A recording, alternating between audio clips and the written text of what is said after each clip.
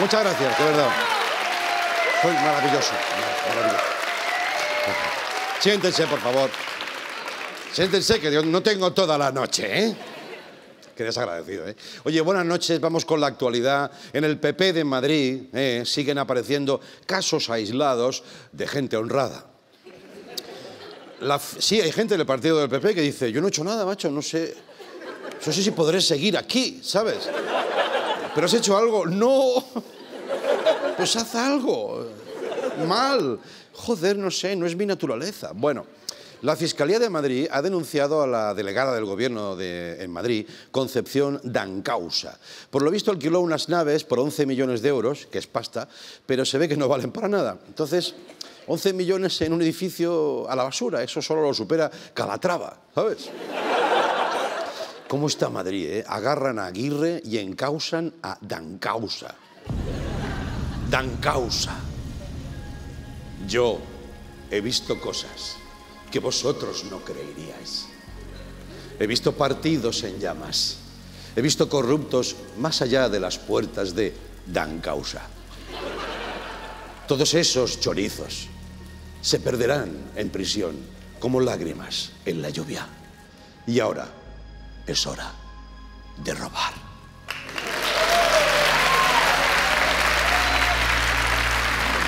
Emocionado. Emocionado. Sí, sí. Ya os dije el otro día que a mí la corrupción me está emocionando. Porque es algo muy de aquí, y, joder, le cogió cariño, ¿no? El día que no salga ningún, ningún imputado, yo, será un día vacío. Bien, ese día no llegará. Bueno, hoy se ha publicado que el ministro de Justicia, Rafael Catalá, que no es catalán, pero se llama Catalá, eh, mandó, como si no tuviéramos problemas los catalanes, ¿sabes? Mandó a Ignacio González eh, un SMS de apoyo. González le felicitó por su nombramiento y Catalá le contestó, gracias Nacho, Nacho que son amigos, ¿no? Dice, un fuerte abrazo, ojalá se cierren pronto los líos, como si los líos se pudieran cerrar. Bueno, y, pero lo que me, ha llamado la atención, digo, ¿qué manía tienen con lo de la fuerza en los SMS del PP, ¿no? Sé fuerte, Luis, eh, que tengas fuerza. Parecen fans de Star Wars, o sea... No lo sé. Hablando de fuerza, eh, el fiscal ha archivado la causa de Maruenda. Maruenda se ve que no ha hecho nada malo. Maruenda, pues, eh, pues tiene la razón, ¿sabes? Digámoslo así, ¿no? Sí, sí. Esta misma tarde ya estaba en su casa eh, preparando la portada del diario. Bueno, ¿qué, pasa con el cuello? Se me va un cuello, ¿no? Para arriba, ¿no? Oh, es de la emoción de la corrupción. Bueno, eh, hay un sitio en el que el PP eh, ya tiene mayoría absoluta, que es Soto del Real, ¿no? Entonces, mañana en el, en el patio hay partido. Los de la Gürtel contra Lezo. Ay, ay, ay. Bárcenas no juega, va a chupar banquillo, ¿eh? Y tú dirás, a lo mejor, como español ciudadano que eres, ¿y el presidente del gobierno qué dice a todo esto? ¿Dónde está Rajoy? Pues está como el Dioni, en Brasil y mirando para otro lado.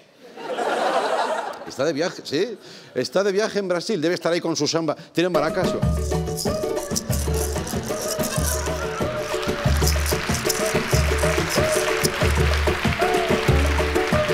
Qué guay, ¿eh? Gracias.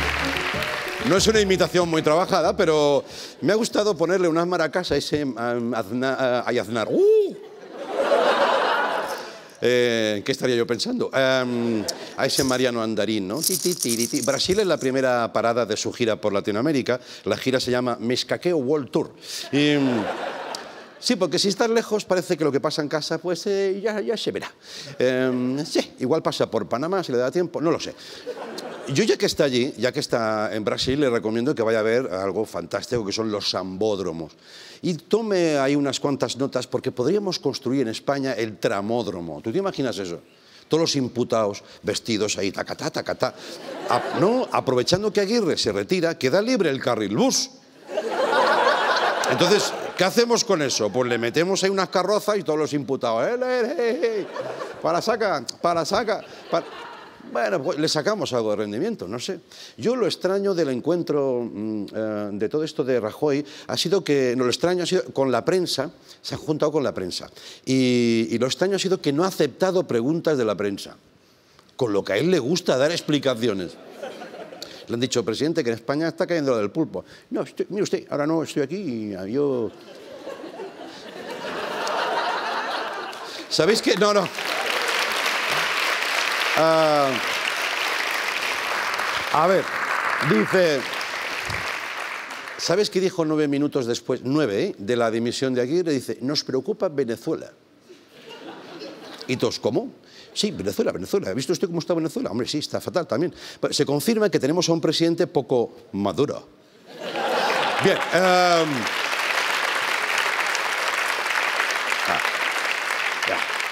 Es acojonante. Una noticia para los que les gusta viajar por España a lo loco, como Pedro Sánchez.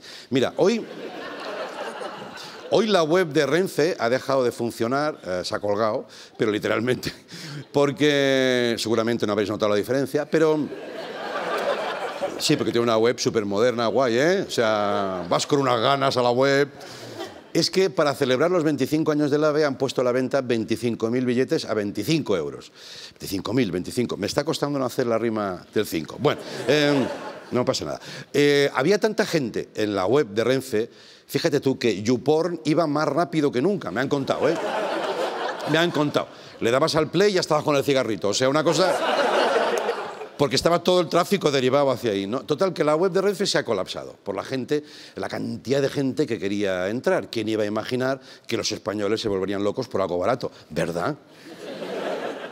Oye, otra cosa, según el, diario El Mundo, ETA solo entregó la mitad de las armas que dijo. Hay un lío con las armas, uy.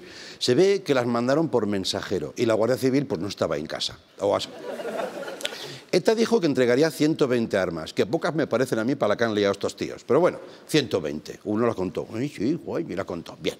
Y en el recuento de la policía solo hay 63. Ah, amigo, donde dije Diego, digo Aitor. Se han dejado unas cuantas pistolas, ¿para qué? Para más tarde. Es como un paluego de armas, ¿sabes? Lo tienes ahí...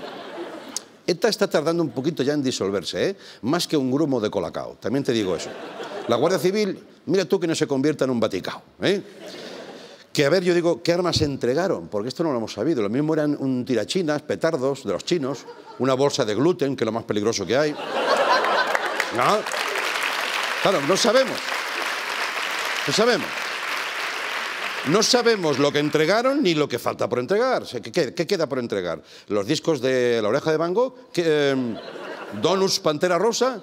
¿El codo de Marcelo? ¿Qué queda por...? Eh? ¿Y si se lo han quedado y lo venden en Wallapop? No lo sé. Guapi. Eti. Lo mejor es que las armas que dijeron que iban a entregar ya eran la mitad de lo que tenían de verdad. Te digo que es un lío. También dijeron que darían la ubicación de 12 zulos y solo han sido 8. tanto recorte, tanto recorte, eso parece el PP. Bueno, y también porque la mitad está en la cárcel, eso es...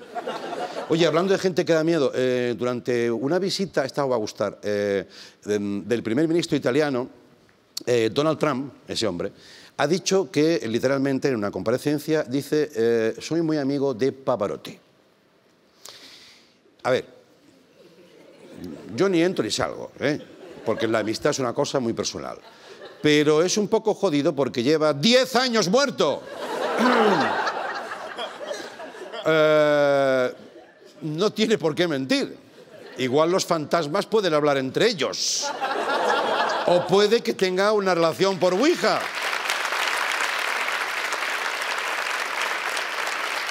Es que flipante Donald Trump, very friend of mine, very friend of mine, Paparotti, very friend of mine. Cualquiera le dice algo, ¿sabes? Te suelta una hostia. ¿Cómo se relacionan? ¿Por psicofonías o qué? ¿Tú te imaginas a Pavarotti cantando desde más allá? Una cosa, oh, suele muerto, o sea, una cosa psicofonía operística, ahí te lo dejo, Iker, esto te puede dar para un programa. Bien. ¿Qué pasó? Fue, fue, uh... no.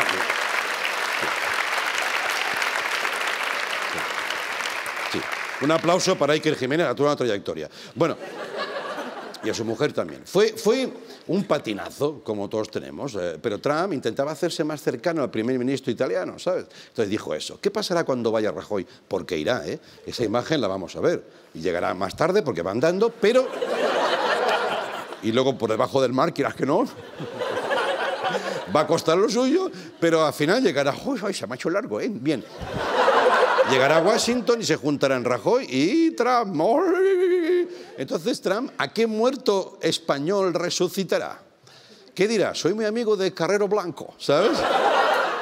Cualquier día le invito al Air Force One. Bienvenidos a Leitmotiv. Venga, vámonos.